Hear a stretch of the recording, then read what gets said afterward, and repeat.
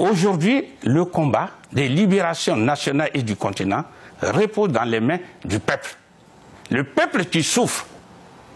C'est pourquoi nous faisons toute cette campagne de sensibilisation, parce qu'il n'y a pas de développement d'un peuple sans éveil de conscience. Alors, euh, sans vous couper, à partir de quelle procédure l'Afrique peut-elle sortir de, du franc CFA?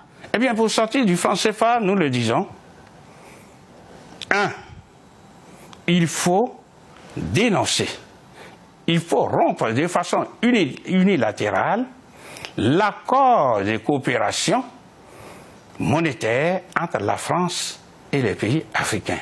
C'est écrit dans les accords que celui qui ne se sent pas, celui qui pense que ses intérêts sont lésés, peut dénoncer de façon unilatérale, tout seul. Il peut quitter. Alors justement, est-ce qu'on peut considérer aujourd'hui que l'avenir hein, du franc CFA repose uniquement sur la seule volonté euh, des Africains? Oui, effectivement. Alors, vous posez une question essentielle, donc je voudrais préciser pour dire, pour sortir de la zone franc CFA, il faut 8 secondes. Je dis bien 8 secondes individuellement et 2 minutes collectivement. Je m'explique.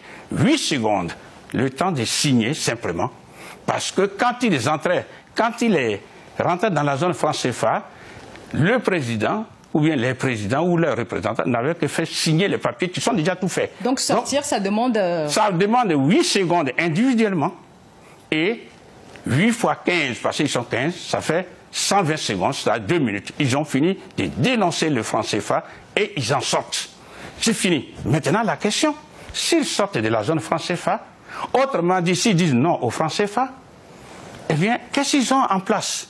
Eh bien, ils vont créer en lieu et place, je n'ai pas dit individuellement, en lieu et place, ils vont créer une monnaie unique africaine, en abrégé la MUA, et ça, ça prend trois jours.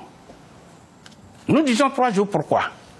Parce que il suffit simplement, si aujourd'hui nous sommes mercredi, eh bien, tous, chacun et tous les 15 pays réunissent leur gouvernement individuellement et décident, bon, nous voulons créer la monnaie unique africaine. Et cette décision est inscrite dans un projet de loi. Le mardi, non, mercredi, mercredi, le jeudi, ce projet de loi est déposé au bureau de l'Assemblée nationale parce que la monnaie appartient toujours, toujours au peuple.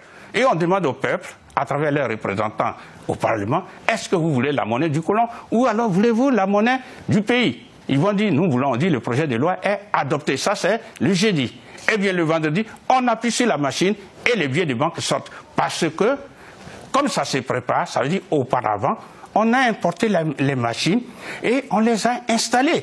Là, importer une machine encore, ça ne prend pas plus de deux jours. On peut importer les machines qui fabriquent les billets dans tous les pays du monde, aux États-Unis, en Australie. On comprend bien maintenant qu'il s'agit d'une véritable volonté politique. C'est une décision politique.